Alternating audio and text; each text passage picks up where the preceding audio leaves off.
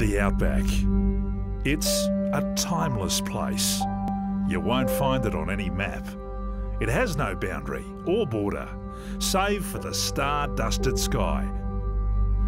Listen now to the story of one man, a drover who became a legend of the bush.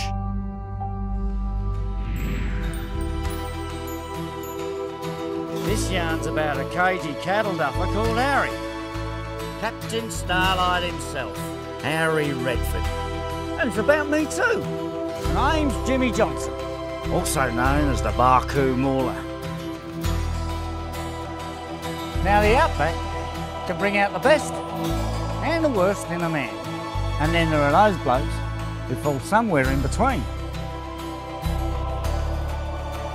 How did Harry pull off the most daring stock theft this side of the Black Stump? A bit of beef's bound to go missing now and then, right? Redford leading the way. I'll never forget it. Long as I live. It was a sight, I tell you. Captain Starlight himself.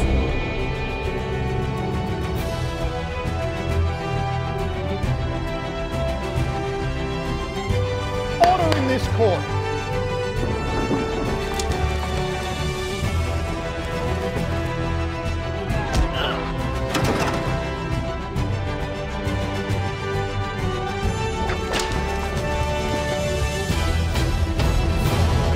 Harry Redford will always be a true legend of the Outback.